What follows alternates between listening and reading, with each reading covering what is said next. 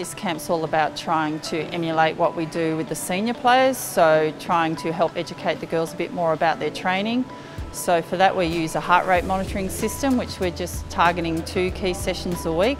I think they get a good sense of what, um, you know, different trainings, um, the, the requirements, the physical requirements of different types of training. It also teaches them how they respond to training over time. Um, and for some of them, it's a bit of a wake-up call um, in terms of that they probably need to train harder in certain sessions. So, and in particular, one thing that we've in the past looked at with the senior players is in the warm-up. And so that was something that we actually touched on tonight with the players.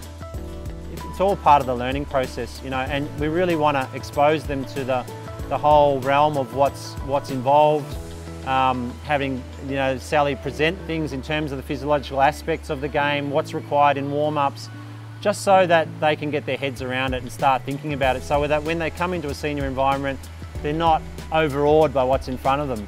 They actually can deal with that. And maybe some of these might even get the opportunity to be thrown into a competition without coming to many senior camps and then hopefully they'll, they'll be able to deal with that much better as well. We want our younger athletes coming into a senior environment to have a good experience and want to come back and improve quickly rather than have an experience where they just feel completely overawed and, and it's just, they feel like it's too difficult.